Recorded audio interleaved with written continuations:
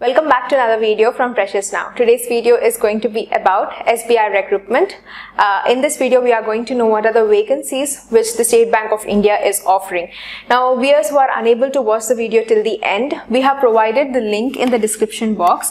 Uh, here is the link. The same link will be headed down even in the description. So you can check it out if you want to read out the information at one place. Or you can also head over to Google and search for SBI Recruitment 2021 Freshers Now and get all the detailed information at one place. Before we begin, just make sure to subscribe to our channel Freshers Now and hit the bell icon to stay updated with all the latest videos from Freshers Now. First off, you're going to see what are the important dates that you have to know regarding this recruitment.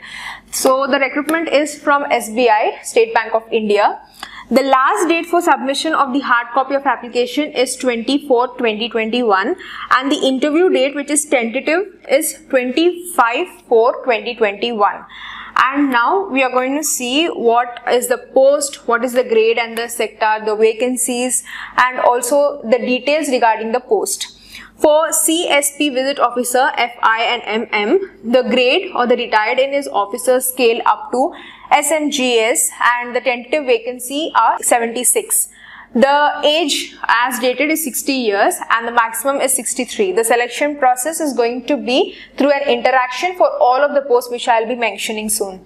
And the executive recovery FI and MM for this particular thing, officers MMGS to SMGS, uh, the tentative vacancy are 10. 60 years to 63 years is the age limit. It's the same for all of the posts. For executive marketing FI and MM, officers scale up to SMGS 43. For field visits officer at RACCSs, officers scale up to MMGS, it's 50. And now heading over to the job profile and the remuneration which is going to be provided.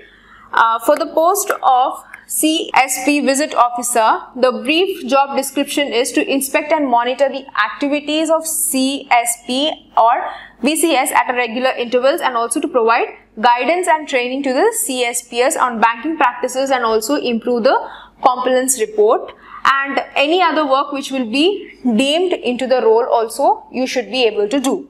And for the next post which is executive recovery FI and MM, coordination with district authorities of revenue recovery and conduct at least two recoveries uh, renewal camps and also should have a follow-up of recovery suits etc and for executive marketing fi and mm market and source quality loans proposals and achieve product wise targets uh, to support the branches in their renewals or overdue for the next post, it's field visit officers. For this particular post, the job description is periodical inspections post-sanction survey completion of various reports and timely submissions and also collection of the documents, follow-up of the visits and to regularize those visits, reporting of the early warning of the signal of the information should be taken into report.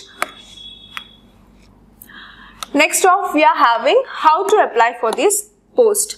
Candidate should have valid email ID and it should be kept active till the declaration of the result. It will be helpful to the candidate in getting the call letter, the interview advices by email only. So your interaction and the communication from the officials to the candidate will be done directly through email itself.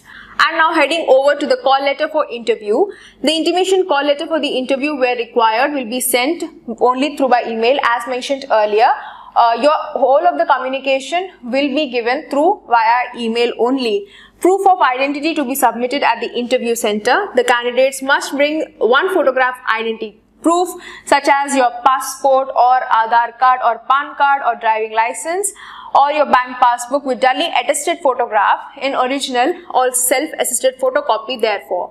And the photocopy of identity proof should be submitted along with the call letter before you are attending the interview. Now furthermore, if you want to read about this uh, notification or this particular vacancies as mentioned, you can always check out the link which will be placed in the description. So you can read all the information at one place without missing out.